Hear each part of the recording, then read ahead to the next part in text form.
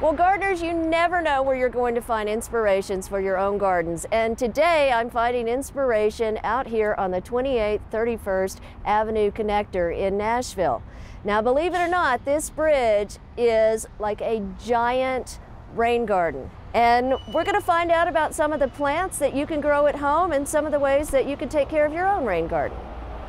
Mekayle Houghton is with the Cumberland River Compact, and I know that these kind of projects are near and dear to your heart because when they put in this bridge to connect two sides of town, they really thought about rainwater and all the runoff. They did, they did. And this is such a wonderful example of how we can build our city so that we have a great booming city and a healthy environment too. What would happen on a normal street is the water would rush into that storm drain and then drain to the nearest stream unfiltered. And the way that this street has been designed is the water hits this curb cut, flows through the rocks, and then into the garden bed. So these are bioswales. They're long rain gardens and they divert rainwater from the storm drains. So some of the advantages are that this trash is what we find in streams all the time when we do stream cleanups with volunteers. So one, the first thing is all the solids trash and some sediment here.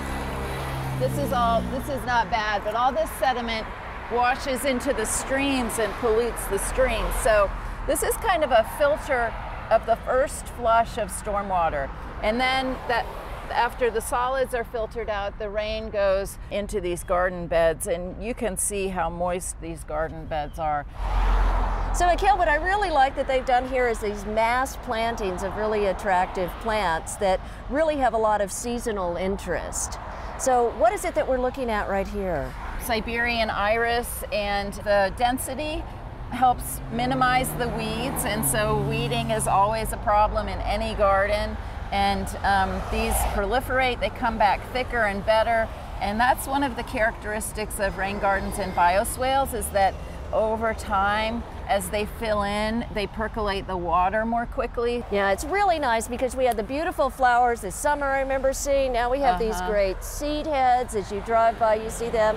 And then that flows right into these wonderful grasses. Shenandoah switchgrass, and switchgrass is always a great addition to any rain garden, any perennial garden. In, in a home setting, you don't really need to irrigate a garden with switchgrass. They usually do really well and they keep this upright character through the winter. The seeds hang on through the winter and they provide a lot of nice structure to a garden.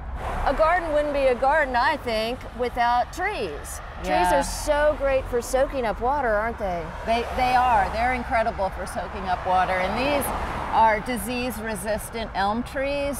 You know, after the elm blight went through, people worked hard to find a disease resistant elm. They're really beautiful street trees um, with their upright habit. Yeah, then these have grown so quickly over the years since, since this was planted. But the trees, you, you know, when you stand under a tree and it's dry during a rain, um, all of that helps with stormwater. The, the raindrops collect on the leaves and then slowly drip down or evaporate back into the air. And all of that helps reduce kind of the pollution that's flowing off our hard surfaces into the streets. So another good choice for rain gardens is native shrubbery. Yes, the, the shrubbery is great because it gives structure to the garden. And this is one of my favorite. This is inkberry, um, and it's it's got these beautiful leaves that I just love. Uh, and it's it's drought drought tolerant. It produces beautiful purple berries uh, for wildlife to eat. Uh, so this is a great and very popular choice for uh, rain gardens and bioswales. You'll see this in a lot of commercial rain gardens around town. Now, what are some of the other bushes that they've used here? Virginia sweetspire is the shrub right back there and uh, that's another one that's great. It spreads, it, it creates a really dense look, uh, beautiful fall colors.